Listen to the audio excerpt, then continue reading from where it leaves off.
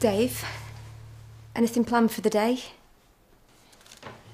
Are you even going to try? I'm an offender, Jane.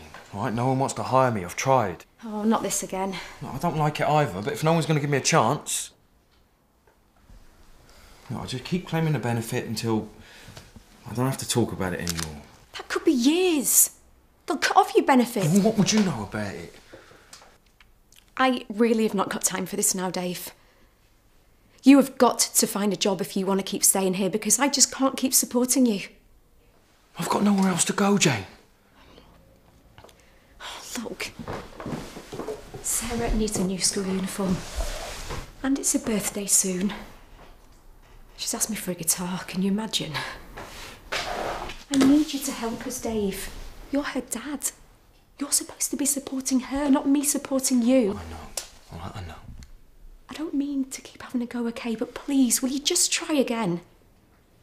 I tell you what, why don't I leave you my laptop and you can have a look for some jobs and then when I come back, maybe I can help you to apply. Okay? Yeah. Okay. Right, I've really got to go. Sarah, come on, please.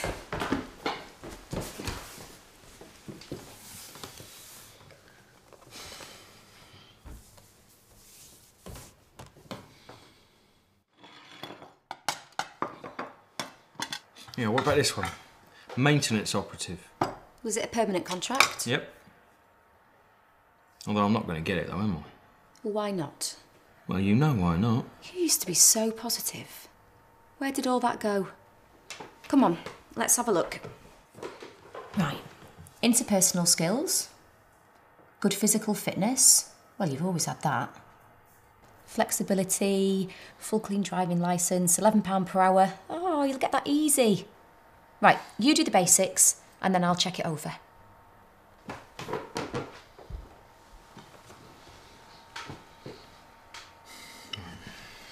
Address.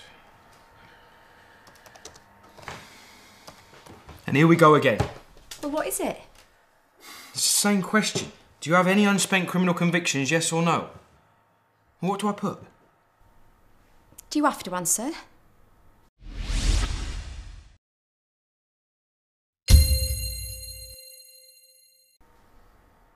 Well, it says it's the law. So, yes, I have to. Suppose you better add then. David Brown, Uh, yeah, that's me. come in. Have a seat, Mr. Brown. Thank you. Well, we don't like to make these things too formal, so why don't you just tell us a bit about yourself? Okay, all right. Uh, well, I'm uh, 29 years old. Um, I've worked mainly in uh, labouring and construction, um, although I have done some uh, some carpentry and uh, some gardening. And I have done some sales as well. Uh, I have six GCSEs, uh, and I have an NVQ in uh, business skills. That all sounds good. I see you've put that you have a criminal conviction. Could you tell us a bit about that, please? Uh, yes, of course. Um, back in 2010, I was arrested uh, with a small amount of drugs on me. Um, despite it being only for personal use, I was convicted of possession with intent to supply. Um, I mean, back then I was I was in with a bad crowd, um, and to be honest, being arrested was probably the best thing that happened to me. I mean, prison gave me a chance to think. I've got a small daughter, and uh, you know, I don't want her to grow up without her dad. Um, I used the time to sort myself out. Uh, I, I did the NVQ, and I also I also volunteered to be a prison listener as well. Hmm, I see. Thanks for being so honest, Mr. Brown. It's really important that we have a totally professional environment. Oh, absolutely, I fully understand. I mean, I'm, I'm in no way involved in any of that anymore. Um, I mean, I, I only ever have a drink at Christmas now. so. Well, on the sounds of it, I don't think we should be too worried about you reoffending. We'll be considering you on your skills and experience only, about your record. Thanks very much for coming in. We will be in touch soon. Thank you. Thank you. Thank you. Bye bye. Bye bye. bye, -bye.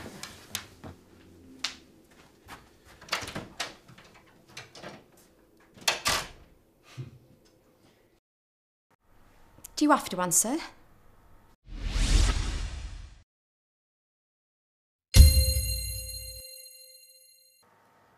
Well, I could leave it blank. I could tell them in the interview. I mean, it always sounds better in person. Well, there you go. Just make sure you get the chance. David Brown, Uh, yeah, that's me. come in. Have a seat, Mr. Brown. Thank you. Well, we don't like to make these things too formal, so why don't you just tell us a bit about yourself? Okay, all right. Uh, well, I'm uh, 29 years old. Um, I've worked mainly in uh, labouring and construction, um, although I have done some uh, some carpentry and uh, some gardening, and I have done some sales as well. Uh, I have six GCSEs, uh, and I have an NVQ in business skills. That all sounds good, Mr. Brown. Do you have any questions for us so far?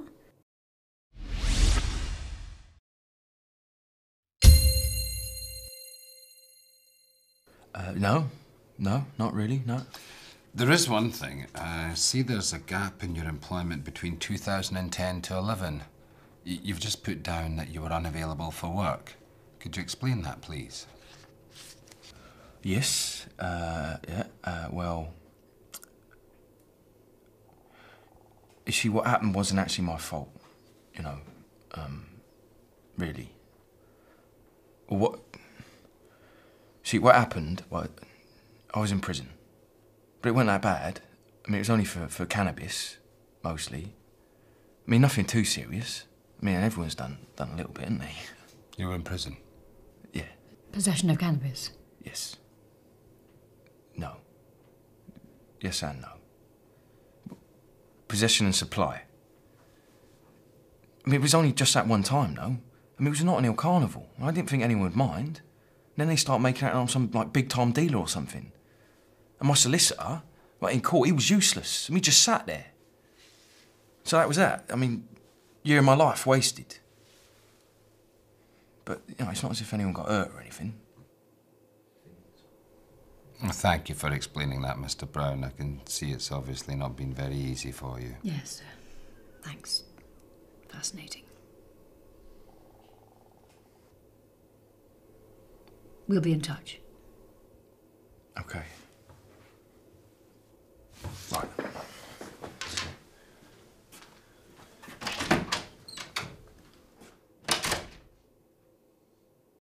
Do you have any questions for us so far?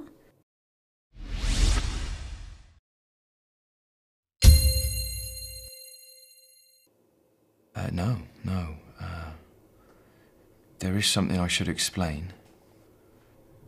Go ahead. Well, you'll see that there's a there's a gap in my experience.